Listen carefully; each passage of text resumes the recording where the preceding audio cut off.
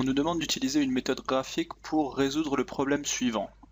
Adèle et Basile ont effectué des tâches ménagères ce week-end. Ensemble, ils ont gagné 50 euros. Ensemble, ils ont gagné 50 euros. Première information.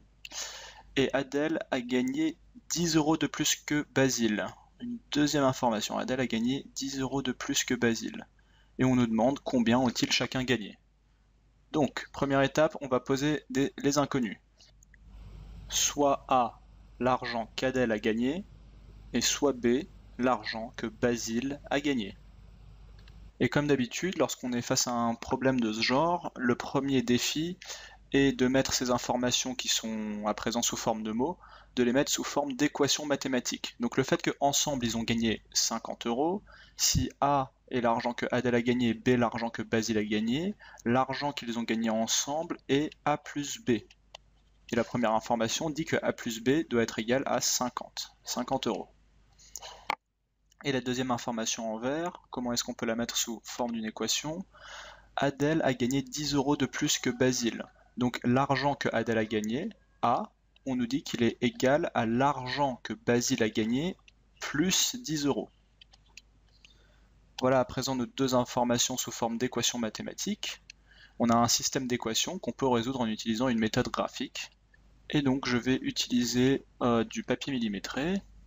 Et le voilà mon papier millimétré. Alors, je vais nommer mes axes A et B, l'argent que Adèle a gagné en ordonnée et l'argent que Basile a gagné en abscisse. Pourquoi est-ce que j'ai représenté mes axes de sorte à n'avoir que des valeurs positives pour A et B? Eh bien, en y réfléchissant un peu, A et B ne peuvent pas être négatifs, car il s'agit d'argent que Adèle ou Basile ont gagné, et ils, pas, ils ne peuvent pas perdre d'argent en travaillant. Donc A et B peuvent uniquement être positifs. Alors, l'étape d'après consiste à euh, représenter l'équation jaune et l'équation verte chacun par une droite.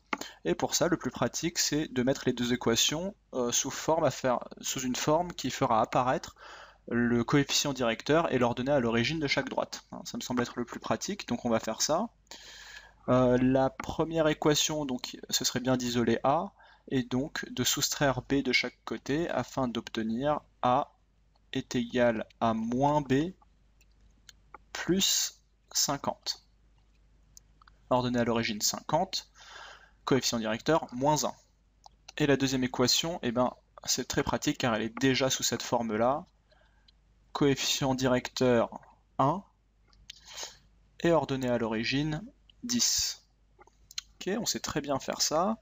Euh, d'abord, je vais décider de quelle graduation utiliser pour mon, pour mon graphique. Donc disons que ici c'est 10 et ici c'est 50. Pareil pour A.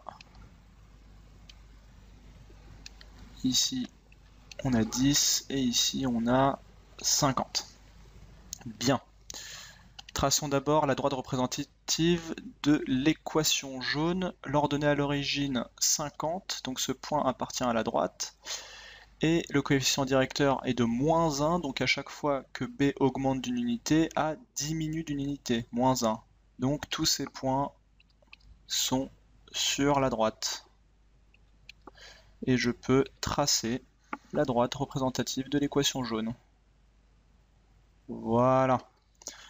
Deuxième équation, ordonnée à l'origine 10, donc ce point appartient à la droite verte et coefficient directeur de 1, donc à chaque fois que B augmente d'une unité, A augmente d'une unité, plus 1, et donc on obtient cette droite pour l'équation verte.